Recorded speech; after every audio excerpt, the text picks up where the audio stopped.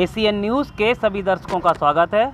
मैं हूँ गणेश अग्रवाल और आप देख रहे हैं दमोह ज़िले की खबरें। दमोह ज़िले के पथरिया विकासखंड के सगोनी कला गाँव में चल रहे 18 दिवसीय श्री रामचरितमानस महायज्ञ के आयोजन पर शिव मंदिर में माता पार्वती की प्रतिमा की प्राण प्रतिष्ठा, पूज्य गुरुदेव श्री श्री एक हज़ार आठ श्री जय जय सरकार के संरक्षण एवं राम अनुग्रह दास छोटे सरकार के मुख्य निर्देशन में संपन्न हुई। इस अवसर पर छोटे सरकार का सभी उपस्थित जनों ने पूजन कर फूल मालाओं से स्वागत कर आशीर्वाद ग्रहण किया। इसमें बड़ी संख्या में आसपास के गाँव के लोगों का अपार जन समुदाय मौजूद रहा। वहीं विशाल भंडारे का आयोजन कर पूर्ण आहुति की गई। इसमें सभी भक्तों की बड़ी संख्या में उपस्थिति रही। Bureau report ACN news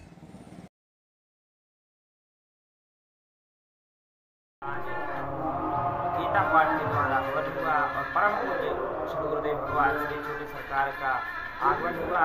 श्रद्धालुओं ने गुरुदेव के दर्शन किए और कल इस विशाल आयोजन का समापन है पूर्णाहुति है और कल विशाल भंडारा है जिसमें आप सभी भक्त सादर आमंत्रित है।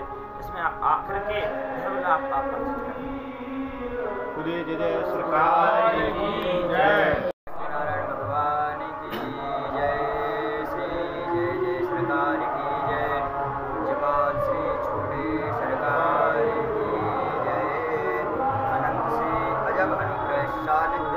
एवं मार्गदर्शन में सागोनी कला जिला दमोह में आयोजित अठारह दिवसीय श्री मानस महायज्ञ जिसका आज श्रीमद् भगवत गीता द्वारा हवन संपन्न हुआ तथा कल दिनांक 23 तारीख को पूर्णाहुति तथा भंडारा किया जाएगा। सादर आमंत्रित हैं।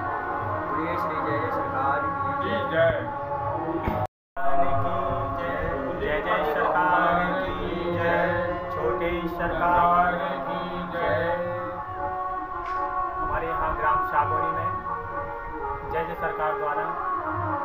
यज्ञ का आयोजन किया जा रहा है, जिसमें आज गीता पाठ सहित हवन हुआ और कल अंतिम दिवस जिसमें पूर्णाहुति है और इसमें सब, सभी लोग सादर आमंत्रित हैं, जो कि यज्ञ समापन की ओर है, इसलिए सभी सादर आमंत्रित हैं।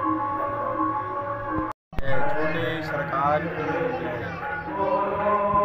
ग्राम जो सरकार की जन्मस्थली इस्लाना के पास में के तट पर विगत छः मई से तेईस मई तक मानस महायज्ञ जो संपूर्ण विश्व के कल्याण के लिए अजब श्री सरकार के द्वारा संचालित अठारह दिवसीय यज्ञ जन कल्याण के लिए किया गया।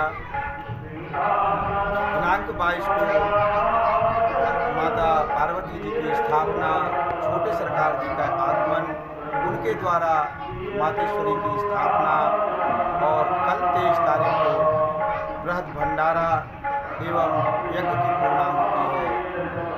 यज्ञ में ओम करुणा सागर की ये सोई धर्म सहित सब करे कोई इस संपुट के पूरे रामायण से आहुतियाँ होती हैं एवं ओम आपदाम अपर्तारम दातारम सर्वसंपदाम लोकाभिरामम श्री रामम भूयो भूयो नमाम्यहम।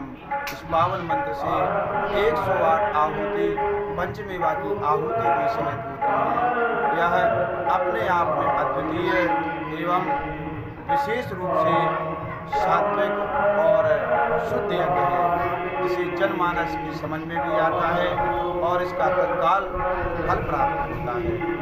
बोलिए जय जय सरकार की यह है सरदार पटेल ओवरब्रिज, जो रात के वक्त अंधकार में डूब जाता है। सरकार है सरकार से हमारी इसे रोशन किया जाए।